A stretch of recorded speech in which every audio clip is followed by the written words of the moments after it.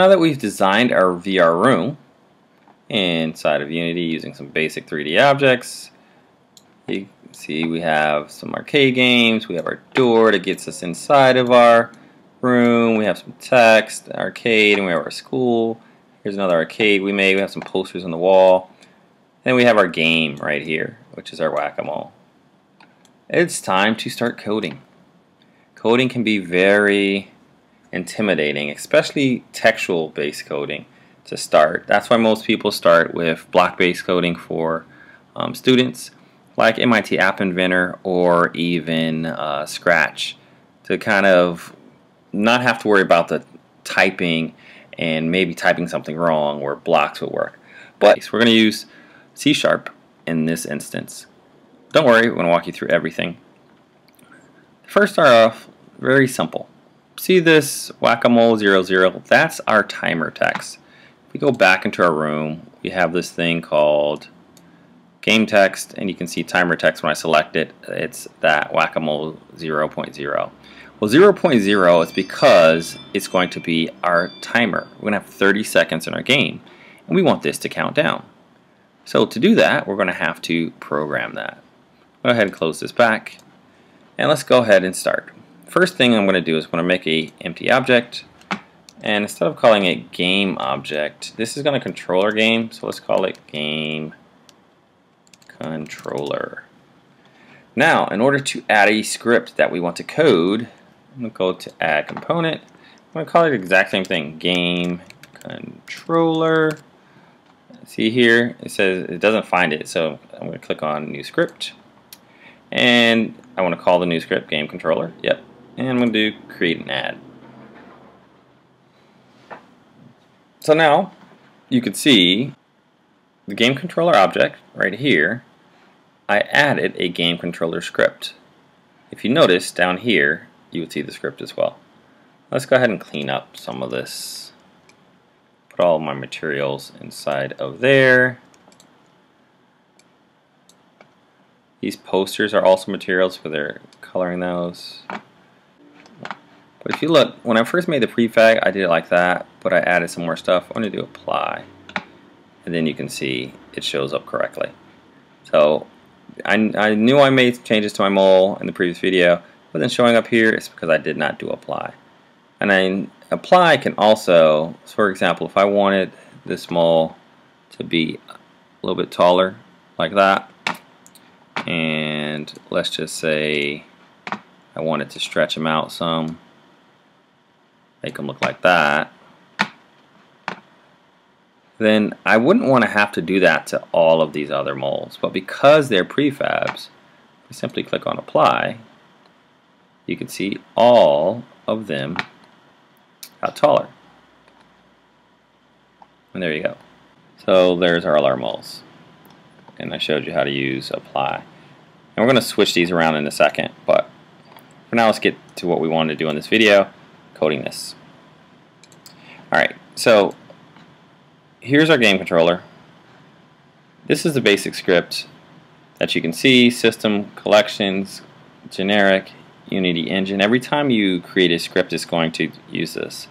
Um, don't worry about the details of it right now. Just think about this is the standard anytime you make a script.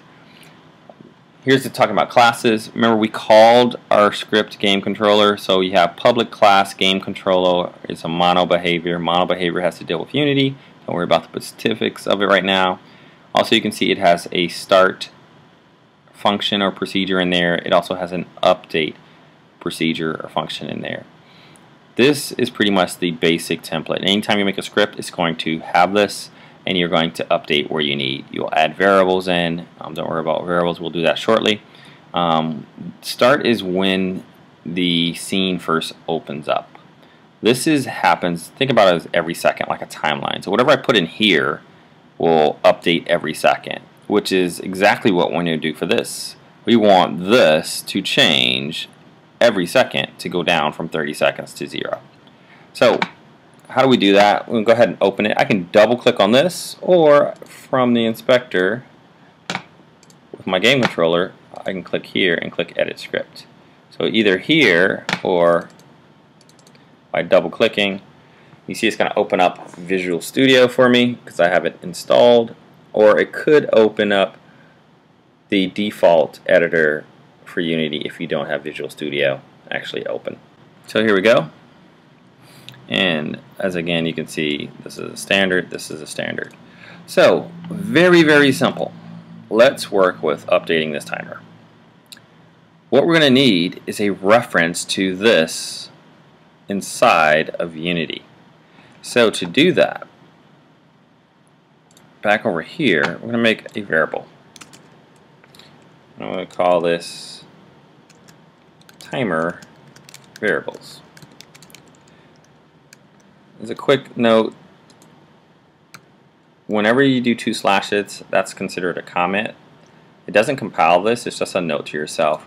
It's a really good habit to start commenting all your code. If you go into programming, they're going to make you comment your code. So the first timer variable I want is a reference to that text. Well, I'm going to do public, which means I can access it from anywhere, which in our environment means in Unity. Public, I'm going to do text mesh timer text. And I'm going to end it with a semicolon. Everything in C Sharp you're going to see ends with a semicolon. So for that, I'm just going to go ahead and save it. I'll come back over here and click on my game controller, and you should see my inspector is going to update and it's going to show timer text. It's, a, it's looking for a text mesh. This allows me to drag in this whack-a-mole 00 to here, and then now I have an instance that I can update. So let's go back to our room. Scroll down. Remember I called it timer text. So make sure game controller is highlighted. That way you can see this timer text. I'm simply going to drag timer text and drop it in here. That's the way I'm able to reference this inside of my code, passing this Unity game object, which is just 3D text, into this. So now that I have that, I can actually change anything. So let's just do a very simple example. So when this starts, if I wanted to update my text, and I'll put example here, update text to say hello. So what we would do, this is our variable called timer text. So I want to say timer text dot, what do I want to change? I want to change the color, I want to change the picture? No, I actually want to change the text. I'm going to say equals to quotations, and again you have to end it with a semicolon. So I'm going to say hello. I'll save that. Now if I come back here, wait a minute, it's not saying hello. Well, if we play it, oh, we're facing the wrong way. So we have to look at our camera. Camera's facing that way.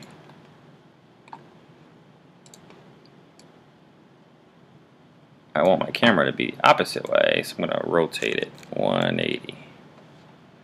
There we go. Bring them back a little bit. Bring them up. Alright, so now, let's play. Remember it says whack-a-mole? Well look, it says hello. That's as easy as it is to update the text. But we don't want it to say hello, we want it to actually say whack-a-mole and go from 30 down to 0. So to do that, let's go ahead back. Again, let's get rid of that. We need to keep track of 30 seconds and then update that constantly. So we're going to need another variable. So here, I'm going to make it public. That way, when I'm playing the game, I might want to make it longer than 30 seconds. The public float, and I'm going to call it game timer. I'm going to say equals to 30f. And 30f for float.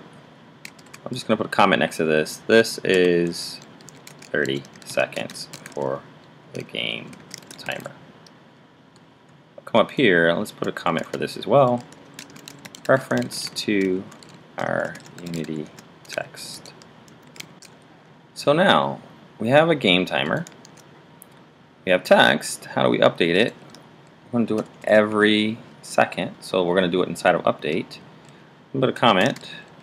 Update the game timer. So to do that, I'm going to say game timer minus equals. I'm going to say time dot delta time. And this in essence subtracts one second from game timer. So that updates it. And now update the text in Unity. We did that before. I'm going to say timer text dot text is equal to I'm going to say whack a mole colon do a plus and I'm going to say game timer. I'll put it semicolon. So go ahead and save that and let's see what happens when we run. So look at there. Very simple to update. But the only issue is we don't want these milliseconds. We don't care about that. We have another issue. If we let this run all the way down, we're going to get negative seconds. So we have two things to fix and then we'll wrap up this video. This is your intro to kind of coding some very simple C Sharp. So we saw it working, but we're going to get rid of the milliseconds.